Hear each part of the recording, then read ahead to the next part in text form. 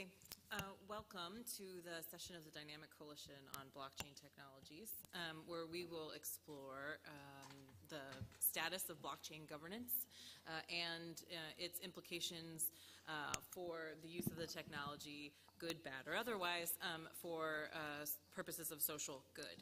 I have uh, with me a panel of five esteemed speakers. Um, the first to my left is Pindar Wong. Pindar Wong is the chairman of VeriFi um, Ltd., a discrete internet financial infrastructure consultancy. He is an internet pioneer who co-founded the first licensed internet service provider in Hong Kong in 1993 and leads the Belt and Road Blockchain Consortium. In 2015, he helped organize Asia's first blockchain workshops, scaling Bitcoin, uh, org and sponsored the Hong Kong Bitcoin Roundtable. He also serves on the Hong Kong government's Committee on Innovation, Technology, and Reindustrialization, and as a director of the Hong Kong Applied Science and Technology Research Institute. Um, to his left is Maria Gomez, um, who is currently the head of ecosystem development at Aragon One, and, and also a, a Colombian-trained lawyer. Uh, to her left is Primavera de Filippi, who is a permanent researcher at the National Center of Scientific Research at the University of Paris II, a faculty associate at the Berkman Klein Center for Internet and Society at Harvard University, and co-founder and co-director of the Coalition for Automated Legal Applications, also known as COALA. To her left is Rick Dudley, who is a blockchain architect and uh, is one of the folks behind many of the most important or biggest uh, DAO uh, projects. And to his left is Constance Choi, who is also the, the other co-founder uh, and co-director of uh, Coalition for Automated Legal Applications um, and um, leads uh, Seven Advisory. We'll begin with comments from Pindar Wong. Thank you very much, Colin, and, and good afternoon to everyone. Um, I was asked to provide a sort of very high-level view of the, uh, the rainforest uh, to help prepare and provide some context today. And so what I'd like to do that is really talk about uh, the sort of the Bitcoin or blockchain hype in general, uh, the hope, and in some sense the reality, and to, to try and give some language and thoughts around which to reason. So first of all, uh, you probably all heard about, um, you know, Bitcoin exists as the very one. It's almost 10 years now. There are other terms that are being used like blockchain technology or distributed ledger technology, whatever is politically correct. Um, but you're probably hearing it everywhere in, in, in, a sense that, you know, blockchain can do lots of things, or even though we may not be very accurate in terms of what we actually define as a, a blockchain or what is actually the innovation itself. Um, if we look at the genesis behind this, the language of money um, is really very, very powerful and what we can express with that. So if we go back to 10 years ago with the invention of, of Bitcoin during, or just after, well, during the great financial crisis, um, it's been 10 years and that has evolved to many other 2,000 different cryptocurrencies and now uh, other kinds of blockchains which are involving smart contracts like Ethereum and basically the idea that not only can we financially fly, we've invented that sort of Wright brothers moment, uh, but also that it can be used for many other things. So the hype is certainly there, and I'm, I'm personally a little bit um, confused. I think the hype is overdone, um, and this is again just my opinion. I look forward to what I call the blockchain winter, uh, very much like the dot-com boom. It's kind of very frothy, but then after the sort of the, the froth gets taken away, the real work continues. Right, the tide goes out. We see who's uh, swimming naked, so to speak, and the real work gets done. So, with respect to the hype, um, I think the real thing to take away here is that we can now design incentives. Um, obviously, financial incentives are the, the easiest one to understand in a very, very granular way. And so there are different fields now which we either call crypto economics or token, token economics, which means that making money now is literally a command line, right? We can make money enter. So the, the language or the monopoly on the creation of money as a very, very powerful tool has now, it's now all software and it's out there. And so now what's very great about it is there's a Cambrian explosion in, in, in thinking about um, not only incentive structures and all the ways that we can design and build community networks, for example, but also different ways of restructuring society as we continue to digitize everything, not just financial access. So moving on to the, hope here is, I like to say that uh, no one is above the law and no nation below mathematics. And it's kind of ironic that we say, uh, say that in this context because you know, the United Nations and the sort of uh, the, the world of law and borders is sort of the, the Westphalian view from 1648, right? Whereas on the internet, uh, we're now post-internet, we're on the post-Bitcoin world, where we don't really care about law and borders. We are, everything's about topology, not geography. And it's important to understand that the underpinning and legitimacy of the technologies in which we will organize society are not necessarily legally based right? It doesn't rely on legal certainty, which has a law and border, but rather, and I try to use this as an example, is based on this stuff, right? This is, this is a physical lock, right? And so it's, it's a different kind of lock because, you know, assuming no one has lock cutters in the room, it doesn't matter what you think. If you know the combination, you can control the asset. And so this is a sort of uh, replacing or complementing legal certainty with a notion of cryptographic certainty or minimally cryptographic consistency as a new way of, of solving the problems which are washing up on our shores, uh, which require us to cooperate at global scale, at a scale we've never seen before. The SDGs, in terms of, uh, are there, the 17, climate change. It's quite clear that we have a technology which is different. It doesn't respect borders. As I said, Bitcoin exists. But the Internet of Trust, which is the theme of today, is really not uh, something that jives with me entirely. I, I talk about, since 2015, the the Asia Pacific Regional Internet uh, Governance Forum, the notion that it's actually an internet for trust on a trustless internet. You know, we have to now assume the internet is trustless. But connecting the internet now, there is a calculus. Before, it would be very clearly good to connect to the internet. But now, if you connect to the internet, you know, geography is forever. On the internet, everyone's your neighbor, and everyone potentially can be a bad neighbor or bad neighborhood, right? Cybercrime, cyberspace, etc. So there are new tools in our policy toolbox which we need to have. And I ultimately think that whilst there's a lot of hope and whilst I say there's a new Eastphalia which relies on the provenance and transparency this technology provides, that there is something which can be grounded. And that is that there is potentially a new social construct which we can create using this technology. And that is why I think it's very important to recognize that currency is a starting point. We have these DAOs, we have uh, smart contracts and maybe sort of a Rousseauian new smart social contract. But what this technology can actually do is provide a new governance technology, a governance technology for nation states where the border does stop. And for all the global problems now that require coordination, cooperation at scale, my, I think the optic I would like to leave you today is that this is ultimately a governance technology and how the governance of the blockchain technologies uh, to have that discussion is very important, and I think that's starting today, and my other panelists will contribute. Thank you. Thank you for starting us off. We'll turn now to Primavera um, to pick up the thread. Thank you. Um, yeah, just to actually perfectly continue on, um, on one thing that I say, um, I think one thing that is really important to understand is that nowadays we have technology which is actually outpacing the capacity for governments to actually regulate those new um, internet infrastructure, whether it is because we are talking about those multinational corporations that are actually too big to be regulated by one single nation state, or because we're talking about those decentralized networks that are actually transnational by their nature and therefore cannot be regulated within a jurisdictional uh, framework. And then the other thing to understand is that at the same time, technology is actually an important proxy for change. Um, and the question then is, how do we actually manage these technologies and how do we actually, if they cannot be regulated in the traditional sense through like a governmental intervention, then how do we actually manage, administer or self-govern those technologies in order to ensure that they're actually promoting the social good? And um, and then if we look at the way in which power and governance has actually evolved over the last 20 or even 10 years, then we can see that power is actually changing hands constantly.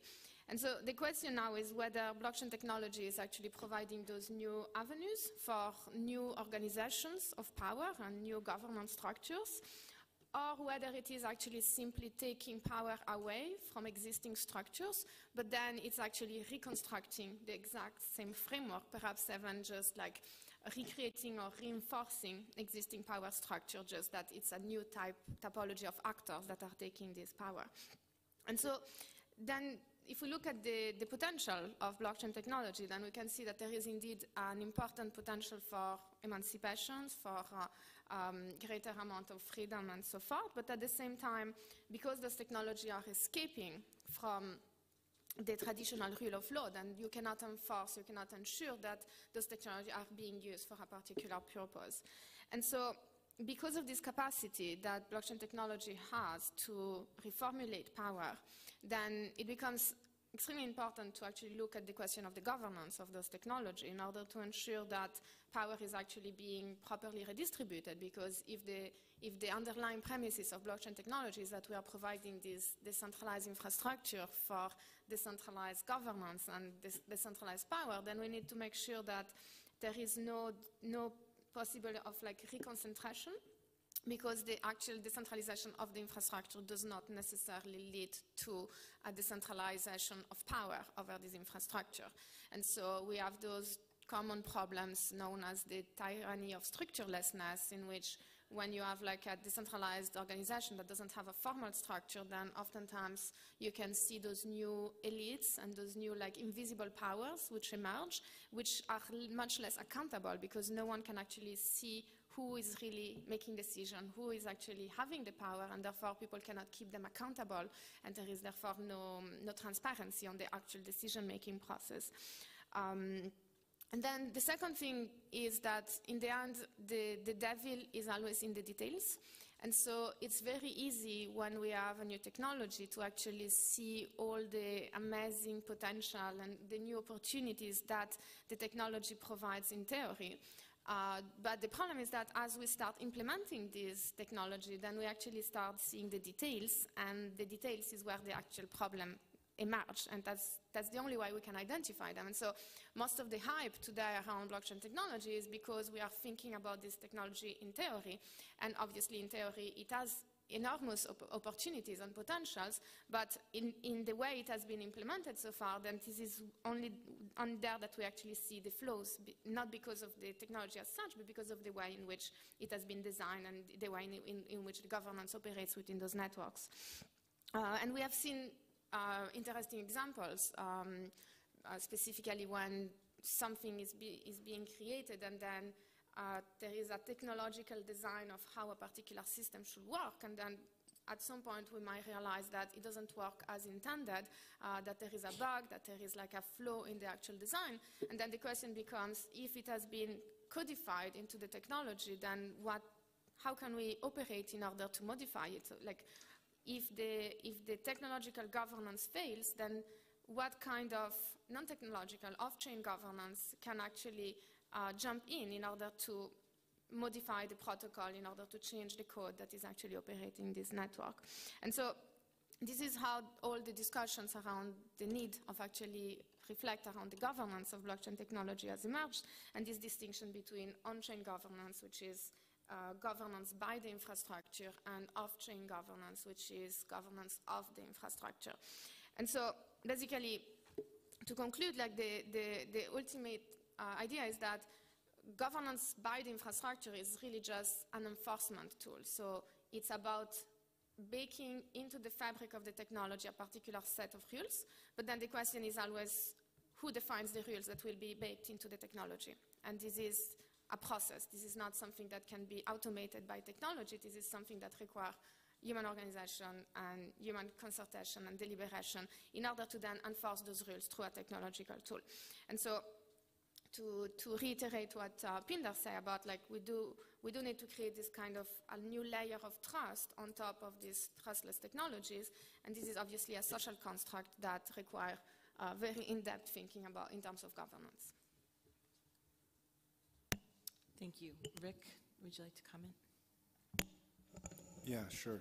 Um, so I, I, have some, some notes on things that I think um, sort of ideals that are held in the, in the blockchain community that um, are aligned with um, the, the development goals. So I, I, think that just sort of a little preamble, um, a lot of people in the blockchain space are very um, anti-government or very libertarian, um, but ultimately, I mean, obviously I'm just speaking my opinion, but but ultimately, you know, libertarianism sort of lacks a robustness, right, as a model. I mean, it's, it's not a full model for governance in many regards. Um, and so you, have to, in practice, you end up with de facto governance, you end up with de facto rules to make up for the parts of the philosophy that didn't actually map to reality. Um, and, and so, um, so, so, you know, these notes are more about um, sort of how do you sort of bridge that difference? How, there's, there's, you know, there's the sort of the blockchain view on one side, which is in some regards uh, very much optimistic, some sort of fantasy, and then there's actually building things that actually solve people's problems or are actually useful. Um, so for me, um, the, the, one of the ma major value propositions of blockchain technology, and in particular, I mean, obviously exemplified with, with Bitcoin, is the right to exit, right? The ability for you as an individual to not have your work um, be bound to some large arbitrary institution that you effectively have no say in. Um, and, and so this is an ideal that I think many people um, outside of the blockchain space can appreciate, and I think that you need this uh, right to have people leave and enter social groups in order to have in order to solve complicated problems. You can't just be burdened or stuck with with people who don't want to be there or don't want to participate, um, sort of mucking up the system. Um, in a similar vein, um, you know, sort of the counteract that, we also need a meaningful concept of privacy in the contemporary uh, telecommunication environment that we're in. So, um, you know, the, the ability for a dictator or some other sort of person to exert uh, an unfair hegemonic influence on, on a small group of people is enormous um, given how, you know, contemporary internet technology works right? I can monitor all of your communications, I can intercept messages, et cetera, et cetera. Um, a big part of the blockchain community's goals are, are, to create privacy, in particular around economic transactions, but again, because of the libertarian slant, which I think is a little narrow, there's, there's an emphasis on uh, economic privacy, but, that, but blockchain technology more broadly can provide that same type of privacy to any other type of uh, interpersonal transaction. Um, I also think that, that um, you know, one of the problems, again, very much a personal problem, but I think does reflect uh, the broader community. Um, we have organizations of hundreds of millions of people, and and then we sort of pretend that that we're all aligned. I mean, I'm here in, in, in Paris, and you know, I'm an American. I didn't vote for Trump, right? Uh, you know, I don't I don't think he represents, in many regards, a mandate of the 300 plus million people in America. Um, and so at some point, I think, you know, if we, and then also, I mean, celebrating, you know, the, the end of World War I, you, you, can have these, these, these countries of 40 million people or 10 million people, but that is categorically different from a, from a systems perspective than 100 million people. And I, and I think that really 10 million people is probably too many. And so I think uh, what a lot of the, the value of blockchain technology and, and, and applying cryptography, uh, in particular signing messages, um, what, applying that technology to these sort of uh, contemporary social problems, what it allows us to do is it allows us to, to self-select groups, for us to create groups that are not geographically bound, groups of people that are based on interest and, and shared goals, and then coordinate those groups in a secure way, um, you know, for the, for the betterment or achievement of the, uh, of, you know, of these goals that, that were discussed. Um, so I, I, think that ultimately there's a fear. I think, well, I mean, there's, there's a large marketing influence in how blockchains are discussed. People are marketing, they're selling something. And I think in selling something, you know, uh, in this particular context, you know, a lot of people were selling freedom, uh, you know, the, the freedom to commit crime, maybe, as opposed to the freedom to escape persecution, right? which I think is an equal or frankly more important um, um, freedom to preserve. So, um, yeah, that wraps up my comments. And Constance, I think you're going to pick up there. what I have to say speaks to you know what, what all, all of the people up here have been talking about. You know, I wanted to just kind of reframe this in, in terms of what we see as the promise of blockchain, which is this global infrastructure that is to um, allow us to have a common shared state of things in which we can coordinate and organize and count different things. And then we have, on the other hand, the Sustainable Development Goals, which really speak to a shared space, um, this idea of a shared planet, resources, uh, a floor beneath which we won't fall so that we can all rise as one humanity. And it seems on its face that these things converge. Um, but what we've been seeing in the development of the blockchain space, and, and it speaks to how our understanding of what blockchains can do as infrastructure is changing from, you know, these isolated monetary systems to more global systems of coordination and governance. Um, what we're seeing is actually, um, unfortunately, some playing the same the same game with with these new, very powerful tools. So I can give you a few examples of that. Um, you know, uh, the um, uh, you know, early on in the space, you saw a lot of, you know, entrepreneurs and early pioneers that really talked about the potential of blockchain, the narrative of, you know, lowering remittances, um, increasing capacity to participate in global financial networks being put forth. But what these guys were actually building were new systems, new financial systems with even more intermediaries than before. So instead of having just the bank in the middle, you have a bank, the blockchain exchange, your wallet company, you know, the network fees, and so on and so forth, which is quite ironic.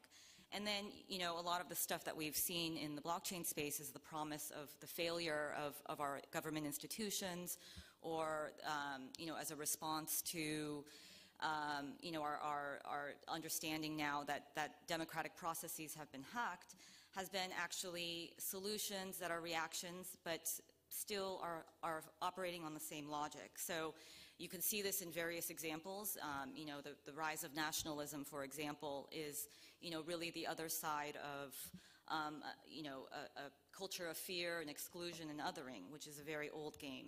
Um, you can also see, um, you know, the, as a response to kind of the hacking of our democratic processes, an increased shift into uh, a faith in algorithmic governance, data-driven policies that actually um, take away the agency of people. Um, and then you can see solutions that are put forth, so things like, um, you know, radical markets. So this idea that, you know, we will do away with property, that uh, everyone on a, on a, free market basis will be able to bid for services. Um, you know, that ignores the structural uh, power issues that, that people don't have the same access to resources or capacity for decision making, um, which means that these systems will inherently fail on the same basis. And then, you know, you have other promising uh, solutions. So you have the e-Estonia, um, the, the Estonian e-residency program, which reformulates, on one hand, this idea of governments competing to be service providers. So on one hand, that's, that's really promising because for the first time you have government institutions who, whose confidence has been eroded by the people um, trying to serve their constituencies better.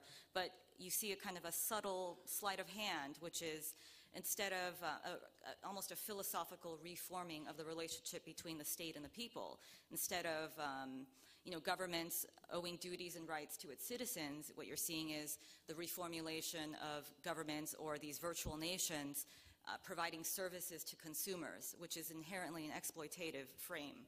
So, so what we're seeing actually are these technological tools that hold great promise and great power being used to recreate some of the same systems and accelerating the inequalities of that systems. Um, so, you know, I think that all of us here who have been working really deeply in the space see how this can be a fundamentally powerful tool for a fundamentally different game. But, um, but in order to do so, we actually need to come from a different kind of consciousness. So, um, you know, we need to use these tools, this infrastructure, to build more complex systems that um, do things like um, provide greater agency to people, um, that increase our capacity to not only make decisions, but um, develop sense-making tools that allow us to make informed decisions. Um, to build, you know, even closed-loop supply chains, for example, that take into account externalities that then give heft and weight to this idea of a common shared space. Um, you know, things like com coming from a more compassionate point of view, understanding that but for, you know, an accident of birth, you could have been born in one country or another, and that, um, that we really need to have systems that enable people from all walks of life to be able to participate. Um, so, you know, uh, the one phrase that I heard recently just really struck at me, which is that, you know, the idea of the people is an idea, it's a concept. Um, the individual, though, is a person.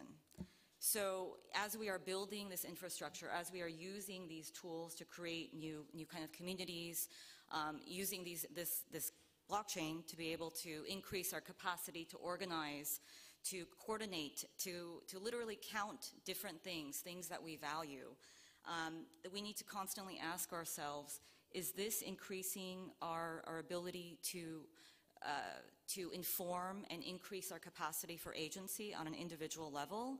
And is the narrative that's driving this idea of the community or the people inherently one that is based on a consciousness that isn't exploitative, that's actually communal, that actually can, can speak to the promise of this technology as, as a borderless and non-rivalrous means of being able to coordinate as, as a whole. And, and there's a, a lot of projects that are experimenting with these new ways. Thank you. So um, first Primavera and then Constance both spoke of the way this technology could be used to recreate the same system, but uh, Maria, you're working on uh, building an entirely different system. Could you tell us about that? Yes, um, so uh, my idea is to present um, the project I work for as an example of how we're using this, this uh, set of new uh, tools. Um, Aragon, Aragon is, is a project that has two parts, and one part is well building an application, and it's more like a, a platform where you will go, you download, and, and you will see different applications and, and different templates, and you can use those templates to uh, create your organization on the blockchain. Um, and so anyone can download that application and use those set of applications for free. Uh, it doesn't matter where they are in the world. Um, those applications are, for example, the finance application for projects to or communities to manage their budget in a transparent way. Um, the survey application for, for these open projects to give a voice to their communities and uh, regarding certain decisions or all decisions, um, the voting application uh, as well. And in the future, we will have different governance applications like um, liquid democracy, uh, Futarchy, and any project, any community can use those different applications according to their needs. And the other part of the project is what we call the Aragon Network. And that network is going to provide services to the organizations that opt to join that network. It's totally uh, um, uh, voluntary. So people that want to join can join that network to find services like um, the decentralized court. So the idea of the network is to provide a, a framework for the different decentralized organizations uh, to interact among each other, to transact, commercially transact in a, in a trust minimized way. Um, and so another service is um, the, the, decentralized court. So if something happened, um, there will be a court that will be studying whatever the problem that happened and will be solving that issue according to the rules of the network. In the network, we do have a manifesto. And that manifesto uh, has the principles of the, of, the, of the community, of the Aragon community. And such principles are like, uh, for example, decentralization of power. And this is something that we are in the process of of doing. Um, so we raised uh, a set of funds for the building of this project, and we want to give the power of, over those funds to the community. Um, we have something that is the Aragon governance proposal, and right now we are going to enter into the voting process uh, uh, as of tomorrow. So token holders, uh, people from the community that have uh, Aragon tokens, they can vote on whether we should adopt that proposal, that governance proposal. Um, and that proposal set the framework for the decision making of the um, decisions regarding the, the, the use of the funds, for example, and also the governance of the association. So the legal part of the of the project is a is a legal association that um, it's a legal entity that is in in Switzerland. Um, what else? Another another principle is non-violence. So, like I said, uh, whoever wants to join the network can join, and whoever wants to to um, opt out of that network can do it as well.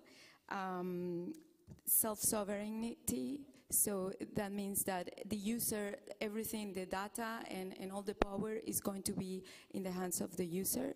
And we respect, we are going to respect privacy a lot. We, uh, we would love to have anonymous organizations and anonymous people participating in, in participating in the in the network.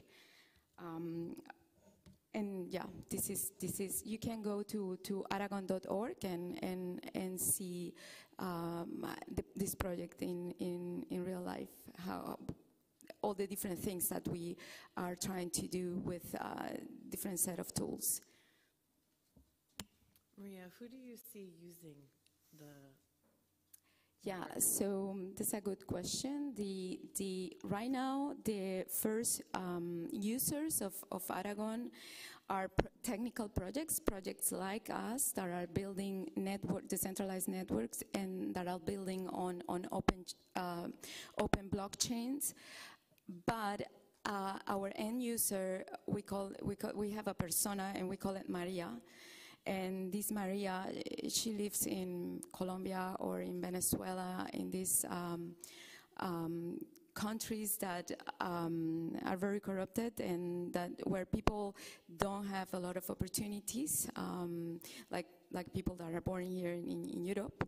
And so we would love that Maria to use the, the network so she, for example, can work for one of these organizations and earn in, in crypto uh, or she can set up a, an organization with different people in the world uh, to do certain things, to, to build a network, to build an application, to build a website, and, and get paid uh, for that work. So before I open it up to questions and comments from the audience, I wanted to give the panelists a chance to respond to each other if you have comments for each other. Yeah, Pindar. I'm just struck by the language that we've all been using in both the philosophical ideas, etc. It, it just shows you, again, the whole thoughtfulness of the people who are currently involved with this space and some of the very complex, not only ethical issues, but political issues that everyone are, re- are wrestling with in terms of the design of this effectively software. So the thought that uh, sort of I have, or one of my questions is, you know, are we replacing institutions with software? Right? Because again, we're losing the geographic view, right? Now you can choose which economy, you can have economy without borders, right? You've got crypto token, you can join any community you have, you have the language of money within that community that is recognized, you have political systems in terms of agency and how representation is. We ha- I've heard the word court, right? We have openlaw.io, we've got simulation of law, and, and, and contract and smart contracts. So it's, it's just kind of, it struck me that, you know, this is a very pivotal time to have thoughtful people, again, everyone in this room, to participate in these discussions. I think none of us are particularly qualified to deal with this morass, but we can all contribute.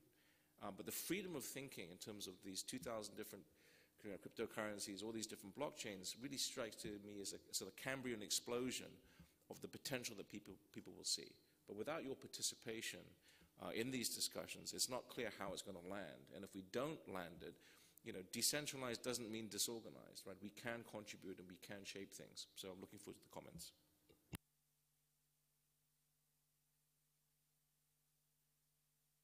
Um, I, that all sounded good to me.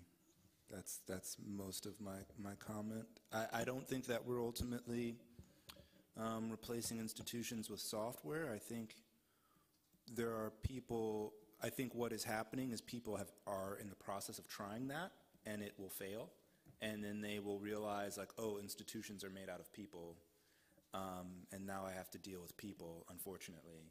I, and, and, I, and I think that that's sort of the, the lesson that I mean, there's a Bitcoin cash fork. I mean, I don't want to get all inside baseball-y here, but I mean, a group of people who were like, we're going to split off because of governance issues. We're going to eliminate governance issues, and like three months later had a governance crisis. I mean, it's like you, you can't avoid these problems um, in spite of really, really wanting to.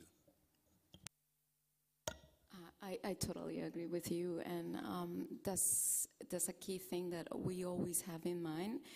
Um, when I was talking about the network, for example, uh, that network is going to have a set of rules uh, on the smart contracts, but also we want to like when organizations are transacting and entering in, into an agreement, we we want um, the rules set in uh, in smart contracts, but also we want to have like a like an agreement. It, it, it doesn't mean a, a, legal agreement, but an agreement, a human readable agreement, because these organizations, even though if they are going to be running on on software, they are made of humans as well. So we cannot put all these different issues that can, come up on on on code in code we cannot codify everything. So we want to set up this agreement, human readable agreement, to, to, to talk about the intentions uh, at least. To, to add to this, I think there is an in interesting distinction that can be made between um, tools, technologies, and then processes or institutions. And I think that there is this kind of initial attempt, at least within the blockchain community, of taking the technology and providing tools that have the ultimate goal of actually replacing a process. And uh, I think this is inherently doomed to failure. And of course, the technology and the tools can affect the governance structure and can affect the governance process, but in the end, you still have a process, and the process is a process between different actors and people, and this cannot be replaced by technology. And I think it's, it's actually very it, it's, it's, a useful distinction because, because it enables us to see here is the process that we are un unhappy with or that we want to change, and then here are the technological tools that we can use, not in order to get rid of this process and just replace it with a technological thing, because then it's static and then it doesn't evolve anymore, but rather what are the different mechanisms and tools and devices that we can create in order to transition and in order to improve the transparency or whatever the, the, the outcome of this process while always focusing on the process and not on the actual technologies itself. And I think we have the, the great benefit of the lessons of the internet. You know, Pindar was there from the very beginning, and you can see how a system that was supposed to be global and um, democratic um, quickly became very, very centralized. And so how do we build into these kinds of technologies and avoid the same perils um, and avoid this entropy towards centralization? How do we create these feedback loops that make these systems constantly resilient to this, this kind of entropy? And uh, to go uh, with, uh, with Primavera as well, um, the, the tools are, are like the way the way we see it in Aragon. The, the tools are the means, um, and so, for example, we also think that these tools that we're building can be used by by the institutions. Imagine uh, a budget uh, running on on a finance application on an open blockchain, like a like a budget from from a, from a state or from a government, uh, so we can see what, what is the decisions that are um, being made around those funds and how these persons are, are the persons that are in power um, are using those funds or, or yeah. Um, I think the tools that we are now creating are going to be very important to to you know to use them as, as, as a way of check and balance of, of the centralization of powers that we have today.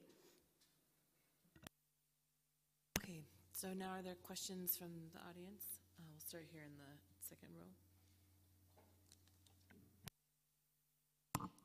Hello, um, my name is uh, Jörn Erbguth. Uh, I'm uh, researching at the University of Geneva, and thank you very much for your statements. Um, I, I agree that, um, well, replacing current governance by blockchain does not work because blockchain has not resolved its own governance problems yet.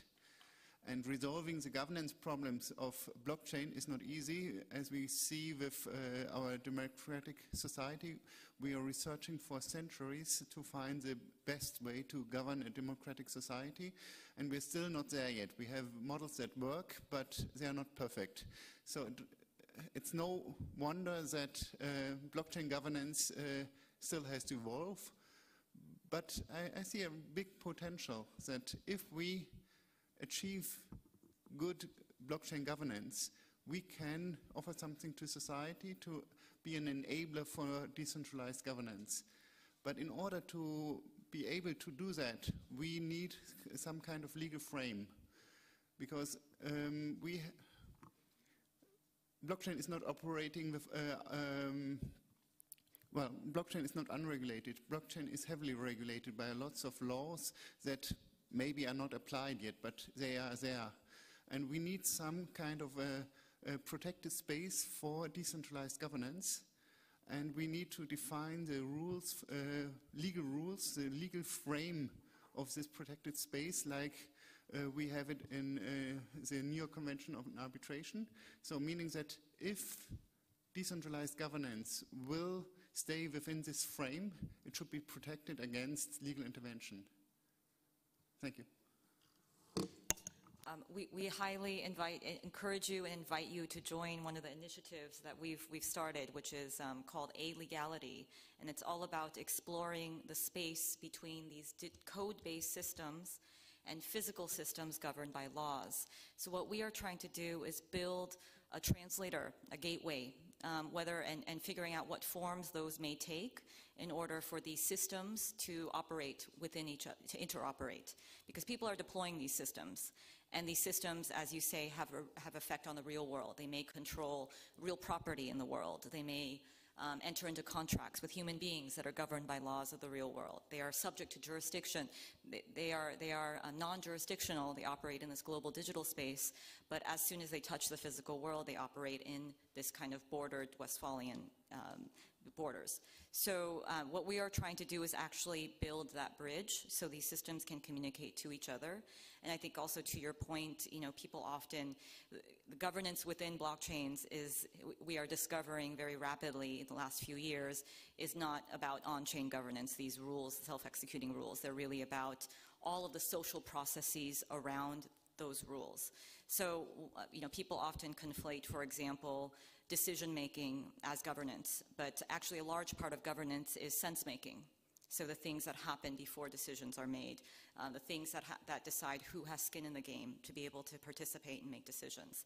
So um, what we are, we're, we're constantly trying to interrogate this, and we would really, we'd love to, to, to you know, invite you and others who want to participate and, and help inform this discussion, because there's certainly been a lot of scholarship that we can learn from.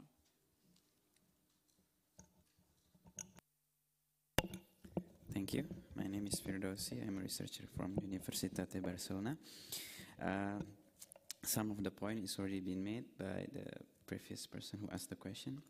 Uh, so for now, maybe just for the basic, uh, when, from the technical perspective, when something goes wrong, yeah, when we applying the blockchain, who will take the blame? Will take the blame, and then just the prison, yeah, so from the case uh, now, wherever it is, maybe in Europe and whatever, is how usually do you solve the problem? So this is kind of the thing that uh, maybe from the law and then from the regulation, we, we will come with the solution because like, uh, there is a different mindset between when you learn the social science and then the natural science. And then I also interested with how the regime of intellectual property works for blockchain so far. Do you have maybe like, uh, as you are like the people who involved there, are there many uh, critical or maybe, I don't know, uh, feedback that maybe towards WIPO on how they should react in regards with this uh, blockchain technology? And last but not least, uh, do you think that uh, given how the because I, I, I hear that uh, some there some panelists feel like you, you don't want that the blockchain to be treated the same like how the cyberspace where in the uh, in the past they have the cyber libertarian and cyber paternalism, but in the physical it's always like people are more likely because the way we uh, humanity works for so long is by applying law. And law usually is always involving certain institution who, uh, in, uh, who responsibility with that.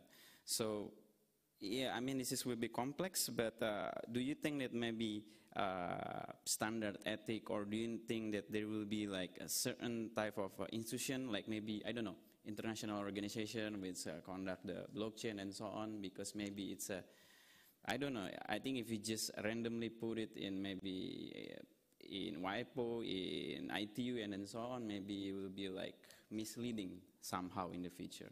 Thank you. I'm, I'm, I'm happy to answer some of those questions. Um, I'm not going to necessarily answer them in order. Um, I think generally, uh, sort of, we call them crypto native people who are, have basically grown up in the blockchain. Uh, they're not going to agree with your last point, your, your last idea of the creation of institutions. I mean, I think that they would basically uh, reject that concept out, out of hand. I, I don't know that, I mean, you know, you end up with de facto institutions, you end up with de facto processes, um, but to formalize that, I think, would sort of undermine. Um, it's just it's just not a it's just not a model that that that is compatible with that type of formalism. Um, you asked another question about who's to blame uh, when when systems fail, um, and and that one sort of perked my interest. Um, so I, for me, there's uh, just in life there's this important difference between blame and responsibility right? You can point a finger and say, you know, this metal was faulty, um, that's why this bridge fell, but there was someone who's responsible for testing and build and producing that metal, um, and there's someone responsible for installing it, right? And so there's a difference between like the blame and the responsibility. So maybe both. but I mean, Yes, so I'll address both. Um, I think uh, one of the benefits of the blockchain space and the sort of, um, and this will tie into your, you had a question about IP law, right? Yeah, so to tie into your question about IP, because the technology is fundamentally open source, and we'll get back to that, um, it's very easy to blame people. You can say this person wrote this code. I mean, you can see there's a, there's a public log of everyone who committed the code. Um, now, maybe those people are pseudonymous, so maybe it's user 47 uh, made this error, or maybe it was, you know, Tom of you know, New York made this error, um, but you can see uh, you can see who, who made the errors. Um, oftentimes, uh, the responsibility um, falls primarily on the individual to to be aware, which is which is obviously a bar- uh, an enormous barrier to adoption, right? I mean, you need to be very technically sophisticated to be aware that these vulnerabilities that have been exposed and that there's an attack ongoing, so on and so forth, et cetera, et cetera. Um, then I would think the next people who tend to take responsibility um, are the developers. So the, the, the core developers of a protocol or the providers of a tool that has a vulnerability in it, the, in the way the community exists today, oftentimes even in a pseudonymous context, for whatever reason, um, you know, maybe game theoretic economic reasons, it's just, it's just, you know, it supports their greed to take responsibility, uh, you know, in the worst case. But oftentimes people feel some sort of social obligation and, and core developers take responsibility. So I think looking at, I mean, the DAO is probably for, for the people on this panel, the DAO hack is a, is a very salient example. I think there's probably more recent examples that might be maybe more, more relevant, but, but in the case of the DAO, um, the actual people who deployed the code uh, frankly took a relatively limited amount of responsibility, and the people actually operating the network, who really technically had no responsibility, uh, took on that responsibility to provide a solution. And there was questions about the governance that went into that. How you know the, the how did they decide, and, and, and how did that process go? Um, and so I, I think that that um, that sort of gives you some context about the contemporary uh, environment. And I think that um, for me, at least, as uh, someone who was interested in these sort of philosophical questions before the Bitcoin paper was published, I, I would like there to be um, some sort of, uh, we were talking about this word the other day, some sort of technocratic uh, process where everyone is educated, right? I mean, you know, this is a fantasy, right? I mean, this is like a great Greek fantasy, right? Everyone is educated, everyone is participating in governance, and, and because we all have that base of knowledge, we can make intelligent decisions collectively. Now, of course, that's not going to work. I mean, there'll have to be delegation, and there'll be social games and social proof, and people will be manipulated, and, and uh, as they are in the world today. Um, but the but the goal is is to have a system where everyone can be everyone who participates in the system can be educated in what the system is doing, and the system is open and transparent to facilitate that. And I think that covered three of your four questions. So I, I oh, I'll go back to the IP question. So in terms of IP, again, um, for me, uh, all the work that I do with my clients um, is all open source. So instead of having an NDA, I have sort of the opposite. I say, in a year from now, if you haven't published the results of my work, I will. Um, and, and there's other people in the community I know who are consultants who have also fairly aggressive um, open source requirements for the work because the, the purpose is to, again, provide knowledge to a community of people who will use the knowledge, not to enrich um, someone who has the capacity to, to file a patent. I, I filed a patent, I have a patent, it's expensive, it's difficult. The, the purpose isn't to, to con- continue that uh, system. The purpose of developing blockchains is, again, to allow large groups of people to self-organize. I mean, millions of people to form collective groups of tens of thousands of people. And I, I'm sorry, there was a third question you had in there that I don't remember. Pindar, did you have comments? Um, I did. uh, In terms of the first one, both the blame and responsibility, just a reminder that these are, in some sense, very cold technologies, which is the point, right? If you have the key, you know, if you had the, if you know the combination of this, you open the lock, and if the lock's faulty, what have you, you have problems. The blame game is, in some sense, right now, I think where we are is that it's actually your responsibility. Why? Because it's the, the, the choice is all there. But the transparency might not help because it's in code, it's what have you. The learning, the, the learning bar is very high. You have to be technically sophisticated. But that will hopefully come down with time. Right, But right now, that's kind of where I think we are. It's cold, and in some sense, it's, it's, it's the opposite of the law, right, where you have the, the intent. And so how these two will relate to each other is, is going to be very, very curious in, in the weeks and months ahead. Has there been a, a case, like legal case, on the misuse of blockchain? Like Misuse by blockchain? by applying the traditional law?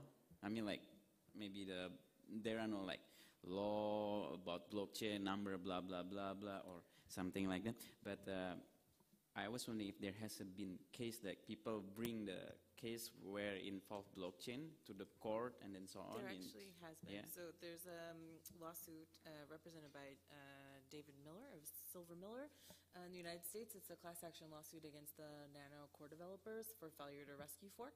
It remains to be seen uh, whether it goes forward or not, but the lawsuit has been filed. So, so that's one to, to watch. There's also an argument emerging in the United States, at least, and I'm, I'm not saying I'm a fan of the argument by any means, but there's an argument emerging around um, places to place fiduciary duties on participants uh, in the ecosystem.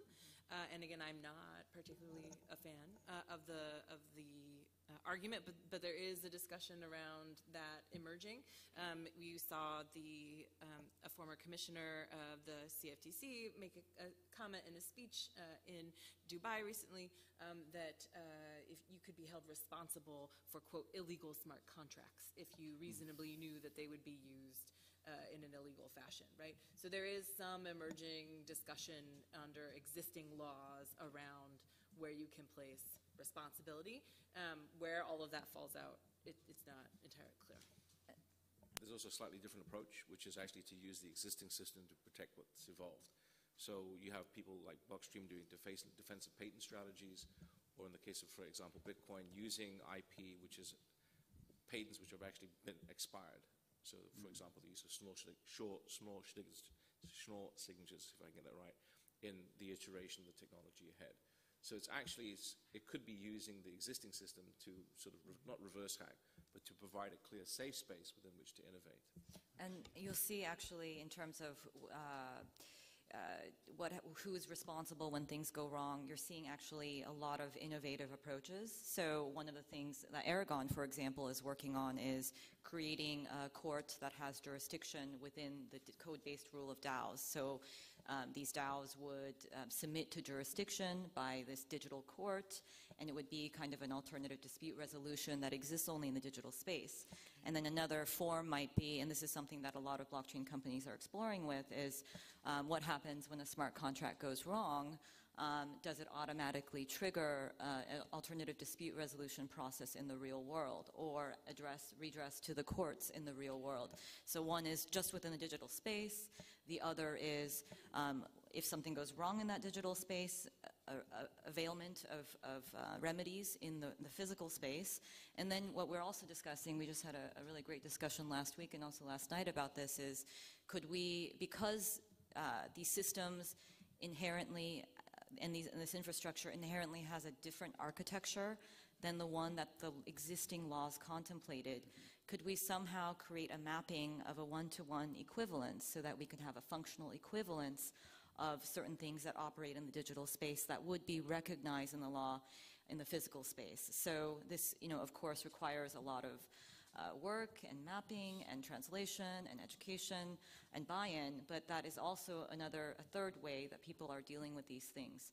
Uh, but in essence, I think uh, we need to really think about what are the public policy goals of laws and um, how can these be achieved in a technological context, or if not, what kinds of new legal structures do we need to be able to accommodate for these things? And we've we've seen this before on the internet, and um, you know, there are, there are precedents for how we approach these problems.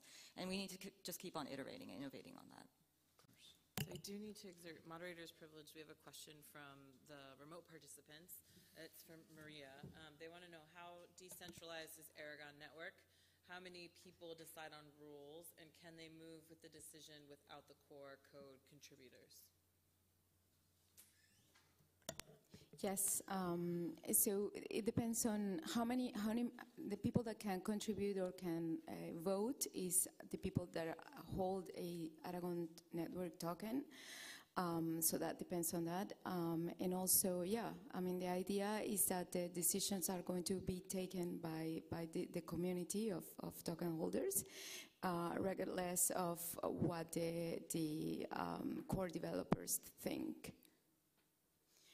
However, um, because this is very difficult, so we are starting step by step. So, for example, I was talking about the Aragon uh, governance proposal, um, which is which we are presenting, like the decision-making process that we um, would like to have in Aragon, and the community is going to decide if, if they if they we opened that proposal um, publicly like more or less a month ago for people to to to contribute as well, and and now we are opening for vote for.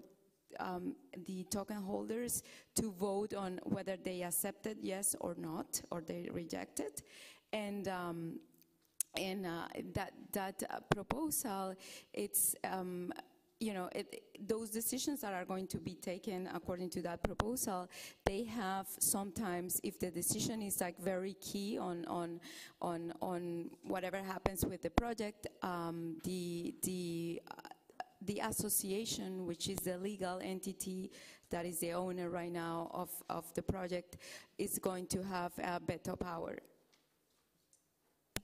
Thank you. Uh, and thanks for the, the questions. It's actually the end of our time, but we would uh, be delighted to continue discussing. We invite you to join the Dynamic Coalition on blockchain technologies and engage in our work, um, and uh, hope that hope that you'll contribute on an in ongoing basis. We do the work year round, uh, so don't let the discussion stop here. Thanks.